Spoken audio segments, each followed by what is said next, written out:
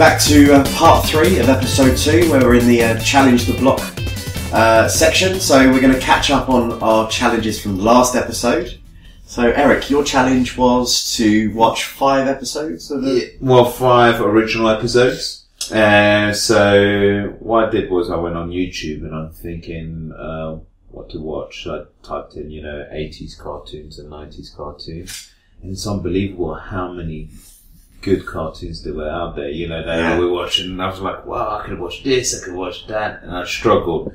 And at the end, it was just the, the ones I could find easiest. What did you? Uh, What was that? so the first one I chose Thundercats because of Anthony. He said that one was really weird, and it was weird.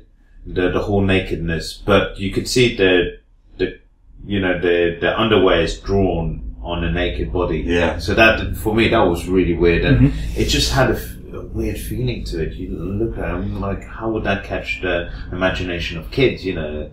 But then, this, yeah. But then the song comes on, Yeah. and it's like, Thundercats. Thundercats. Oh, dun, dun, dun, dun. and I was like, yeah, this is cool. And then I could see where the hook was. Yeah. So I was like, yeah, okay. But there wasn't, the storyline wasn't, it was, at least it told you a bit about Thundercats, where they come from, and about Third Earth, you know, and, you know, in the future, and Mumm-Ra and all that. So it, rather than saying it, uh, ABC, like this Yeah. is it, you, you, through the cartoon, you can actually understand, and once you watch the, the first episode, you kind of get it. Yeah. So, and funny enough, I decided to uh, watch the last episode.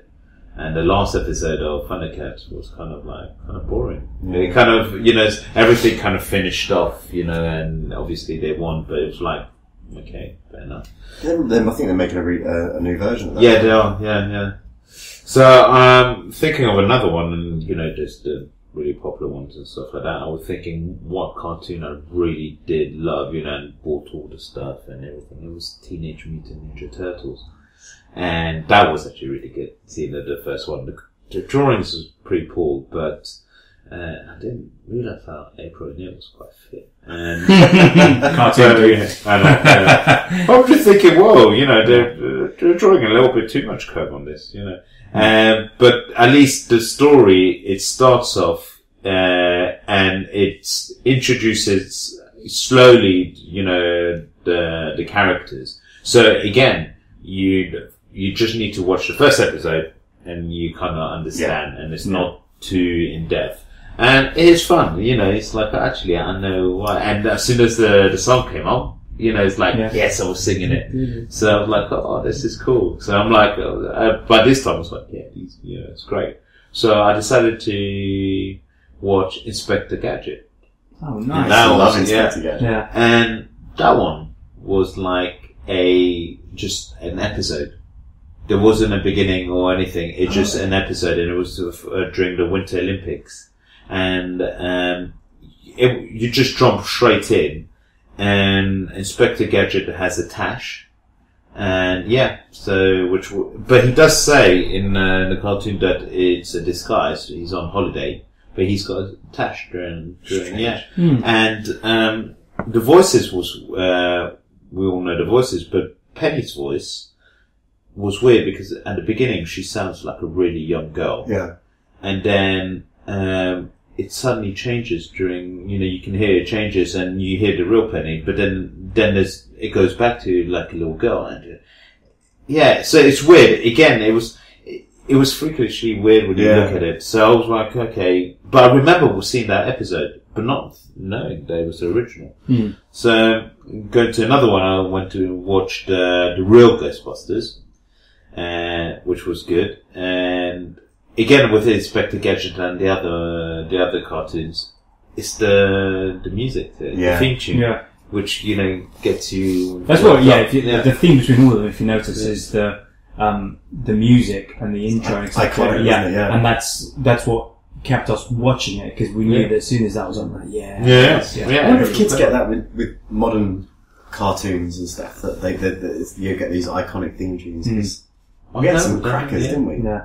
And plus, I remember like uh, these theme tunes were, you know, you actually go and buy the record and Yeah. stuff like that. So, yeah, um, yeah. But the Real Ghostbusters, that was that, that's actually a pretty good uh, first um, episode, again, jump straight into it. Um, explain why they call themselves Real, Real Ghostbusters, Ghostbusters, which was basically they they're called ghosts and they escape and they to to get back at the Ghostbusters they created their own Ghostbusters company act, using themselves and always beating the Ghostbusters to the punch until they awaken a class 10 ghost which was you know really the biggest ghost you can get. And then uh, Ghostbusters uh, come in. And you see Janine actually says we're the real Ghostbusters. And then you can you, Yeah. you get it. But yeah, so that was actually good. And the final one was uh, The Simpsons. And Oh, wow. Yeah, I just, I was, Wow, you know, yeah. so, you know, The Simpsons. But But, yeah, that's an 80s. yeah, Yeah, it's And- that long ago, isn't it? but what, what, I knew, I, I remember seeing the, you know, like some of the, the original episodes, but I didn't know it was like a m- couple minutes long. And it was for a, the Trace, uh, the Tracey show, Tracey Ullman show, which was like a thing, satire thing, you know, uh, and they had that little sketch, and it was for three seasons they, they did that. Really? And it was only a couple minutes, and the, when you watch it, you can you can see the characters, but it seemed a little bit more. Uh, I don't know, a little bit more adultish. You know, you know, not the like for example the Homer Simpson Mm. we love, etc. So, but then I found the original episode of the Simpsons that we know, Hmm. and it was a Christmas special. Oh. And I think you guys, if you see it, you go, "Yeah, I've seen this before," Yeah. and it doesn't feel like it's an original episode. Uh, the only thing that you, which makes it um, iconic, is uh, they this it's it's kind of the story of how they get uh, Santa's little helper. Yes, yeah, I remember that one. Mm. Yeah, that's Yeah. that's the It original. was a Greyhound and they lost Yeah. a bet, didn't they? Yeah. Yeah, yeah. Something like that. Yeah, but yeah, it was it was that. But yeah, so that's the explanation. That's that's the story to it. But watching that and knowing that that it was two Yeah. life to to the Simpsons. So yeah, it's actually pretty good. But after seeing all the other types of things, the the thing that I found out throughout the whole uh, watching all these episodes, and like you said, is the theme tune. You Mm. know that gets that gets you. Yeah. The, the storyline, yeah, but the theme tune, you know, Yeah. really gets you. Yeah. Yeah, you had an exciting week with that then. Yeah, that was good. Okay. What about yours? Yours was, uh, Mine was the drinking challenge, and um, yeah, I didn't do it. great start. That's a great start. There should be a Yeah. forfeit for that. yeah, actually, we're gonna have to come up with a full. Yeah, We'll come up with I'm a forfeit. with that. So why didn't you do it? Just time. There's always Yeah, time it's to drink just a time. stein of beer. yeah. no, I just didn't get a, a chance to get a, a stein. There's always an advertising. There's always, there's always time for a stein. Ah, there you go. There we go. um, for me, I, uh, as I explained earlier on, I've got no uh, no internet at the moment, so that that was that kind of made things difficult for me. So I, I wanted to download a, a game on the Xbox to play, which was which was obviously proving difficult with no internet. Um, so I ended up kind of using my phone, and I found R-Type. Okay, So I was playing R-Type on my phone, Brilliant. which was which was tough actually because I think it was. Uh, we had a conversation off off air, which is talking about um, I struggle to use the screen of a phone as a control pad. Mm. I need to use kind of tangible buttons, and that's what I struggled with. Mm. So I found like I wanted the the, the, the plane to move, the, the spacecraft to move up, and so I moved my thumb up, and then my thumbs my thumb was blocking Where where all these bullets, Yeah. and I ended up dying because my big stupid thumbs were in the way of everything. So um, it it proved harder. So I didn't actually get through to the end. Um, but it kind of goes back that these just these scrolling games that we used to think were like really good fun are still good fun and incredibly difficult actually. Mm. yeah. There's, they're, they're not easy. They're not easy. but also, Anthony, what he's um, lent me his PSP, and he's got loads of um, uh, Sega games on there. So Sonic the Hedgehog, Oh, yeah, and a couple of those. So I'm actually, although the challenge is done, I'm going to still Yeah. play some of those because I actually really enjoy playing R-Type for uh, for this week, which was cool.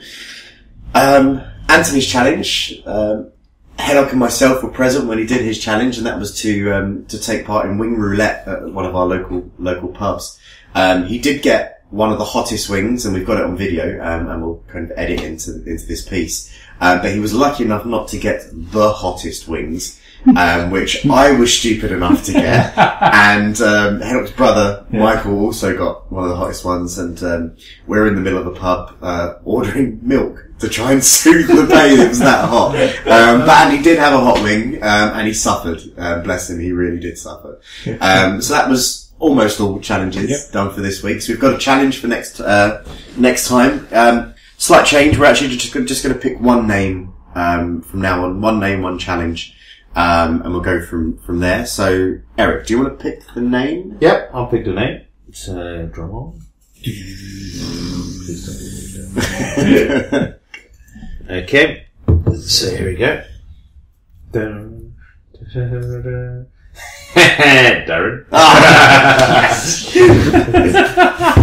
okay. Henok, do you want to pick the challenge? Yeah. Oh crap. All right.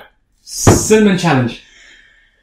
Okay, so brilliant. So I've got to do the cinnamon challenge. So uh, we'll sure we'll do that between now and the recording of the next show. The next show is actually going to take place in a different venue because we're moving out from from this flat. So that'll be our first. Uh, our first recording there, so join us in, in two weeks' time.